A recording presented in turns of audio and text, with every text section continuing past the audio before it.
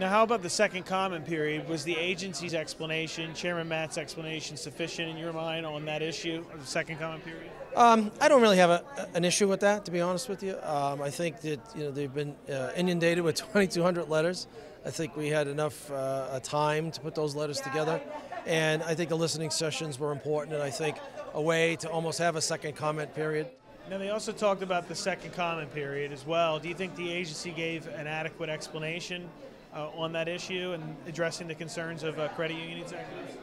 No, I think everybody in the room would like to see a second comment period. NCUA has made it clear that there will not be one, and they did not answer the question as to why is there a rush for this.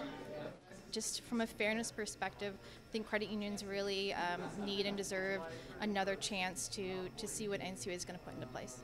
The chairman was asked about that the second comment period at this listening session, and the answer uh, she said she gave was about consensus, building consensus. That their goal isn't to build a consensus, and it's pretty much impossible to do so. Do you think that's a good enough explanation for why it should just be put into a final rule and and, uh, and voted on? From our perspective and our members' perspective, it, it's not about building a consensus, but it is about working together to come up with a rule that, that works and doesn't have unintended consequences. And I think that's the important distinction.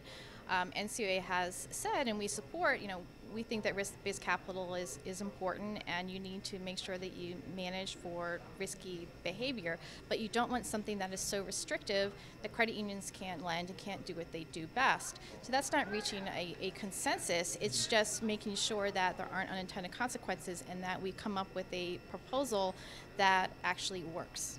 Now, now, Chairman Matz was asked in terms of the second comment period mm-hmm. about having another one, putting the rule out for comment again, and she said that the agency is not trying to build a consensus. Right. And she said that repeatedly. Do you think that that's an adequate explanation for that issue in particular? Well, she's never going to get a consensus. That's, that's obvious. No matter how they write the rule, somebody's going to say, well, that doesn't work for my credit union.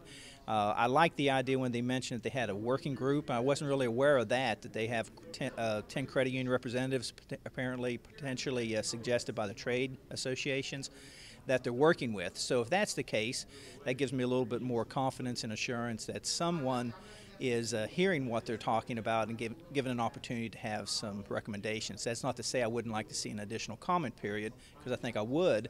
Um, they talk about wanting to do that if it significantly changes, and based upon all the things they discussed, it has to significantly change. So it, it seems like a second comment period would be warranted. It was clear that, at least right now, uh, Chairman Matz is not planning on doing that. I'm only going to speculate. I think that she's put the proposal out. This is very consistent, by the way, with, with what the agency has done. You know, the, the agency by statute has to has to send out these proposals, has to give the mandatory number of days. Uh, they have done all that. They've been consistent with the past. They've been consistent with the law. So I think she feels that she has enough information uh, to move forward with it.